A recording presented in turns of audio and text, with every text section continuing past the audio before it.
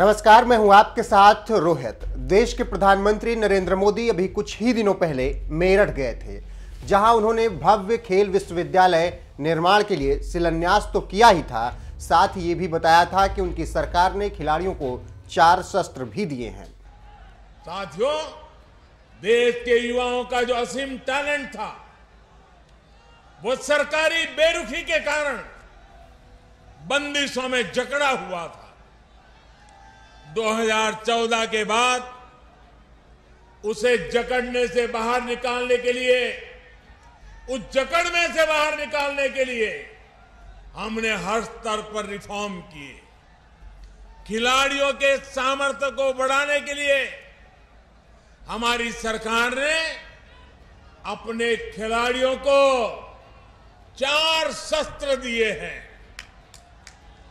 खिलाड़ियों को चाहिए संसाधन खिलाड़ियों को चाहिए ट्रेनिंग की आधुनिक सुविधा खिलाड़ियों को चाहिए, अंतर्राष्ट्रीय एक्सपोजर खिलाड़ियों को चाहिए, चयन में पारदर्शिता हमारी सरकार ने बीते वर्षों में भारत के खिलाड़ियों को ये चार शस्त्र ज़रूर मिले। इसे सर्वोच्च प्राथमिकता दी है। जिस मंच से पीएम मोदी ने खिलाड़ियों को दी जाने वाली सरकारी सुविधाओं का बखान कर रहे थे, उस मंच पर सूबे के मुखिया योगी आदित्यनाथ भी मौजूद थे। जिन्होंने गाजियाबाद में अंतर्राष्ट्रीय क्रिकेट स्टेडियम बनाने के लिए साल 2019 में भूमि पूजन किया था। राजधानी लखनऊ से डिजिटली इसे भूमि पूजन को किया गया था और इसे आज दो साल से ज़्यादा हो गए हैं। मगर क्रिकेट स्टेडियम के प्रोजेक्ट पर अभी तक हाथ नहीं लग सका है। प्रोजेक्ट में हो रही इस देरी की वजह से अब तो गाजियाबाद के रहने वाले मशहूर क्रिकेटर सुरेश रैना का भी सबर जवाब दे गया है।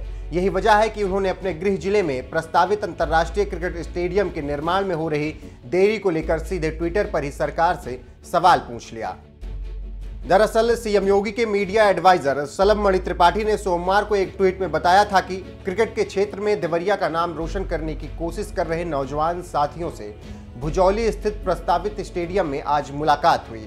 उनका उत्साहवर्धन किया। सभी के प्रयासों से यह स्टेडियम देवरिया में खिलाड़ियों की फैक्ट्री बन सकता है। शुभकामनाएँ।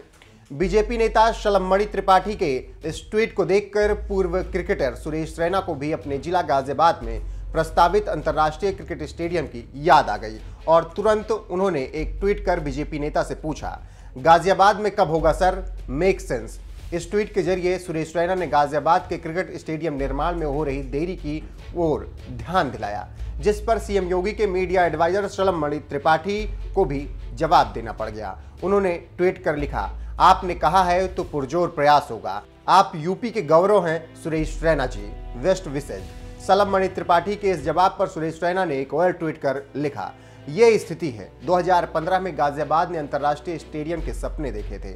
अभी भी सिर्फ़ ज़मीन ही ज़मीन दिखाई देती है। कृपया राज्य सरकार संज्ञान ले। चुनावी मौसम में सुरेश रैना ने गाजियाबाद में अधूरे पड़े प्रोजेक्ट का मुद्दा उठाकर एक तरह से योगी सरकार के सिस्टम पर करारा प्रहार किया है, क्योंकि योगी सरकार किसी भी प्रोजेक्ट को समय से पूरा कराने के लिए ताल ठोकती रहती है, लेकिन रैना के एक ट्वीट ने सरकारी सिस्टम के ढुलमुल रवैये की पोल खोल कर रख दी है। गाजियाबाद के स्टेडियम प्रोजेक्ट में हो रही देरी पर अंतर्राष्ट्रीय स्टेडियम के संयोजक और गाजियाबाद क्रिकेट एसोसिएशन के निदेशक राकेश मिश्रा ने बताया, स्टेडियम का निर्माण होता है तो सरकार और जीडीओ को 70 से 100 करोड़ रुपए का राजस्व मिलेगा। इस संबंध में जल्द ही समय लेकर मुख्यमंत्री से सभी मुद्दों पर बात होगी। उम्मीद है कि जल्द ही स्टेडियम का निर्माण शुरू होगा। आपको बता दें कि गाजियाबाद के राजनगर एक्सटेंशन में ही अंतर्राष्ट्रीय स्तर का क्रिकेट स्टेडियम बनाने की बात लंबे वक्त से चल रही है। यहाँ पर इसका भूमि पूजन भी हो चुका है, लेकिन अभी तक स्टेडियम का काम ज़मीन पर उतरता हुआ नहीं दिखाई दे रहा है। सुरेश रैना भी गाजियाबाद के ही रहने वाले हैं। यही वजह है कि उन्होंने योगी सरकार को उनका वादा याद दिलाया है। भारत के लिए लंबे वक्त तक क्रिकेट खेलने वाले सुरेश रैना ने 226 वनडे मैच में 5,615 रन बनाए हैं जबकि 78 टी ट्वेंटी मुकाबले खेलते हुए उन्होंने 1,605 रन बनाए हैं। सुरेश रैना ने 15 अगस्त 2020 को महेंद्र सिंह धोनी के साथ ही अंतर्राष्ट्रीय क्रिकेट को अलविदा कहा था। हालाँकि वह अभी आईपीएल खेल रहे हैं और 2022 ऑक्शन में वो नज़रें गड़ाए बैठे हैं कि कोई टीम उन पर बोली लगाए।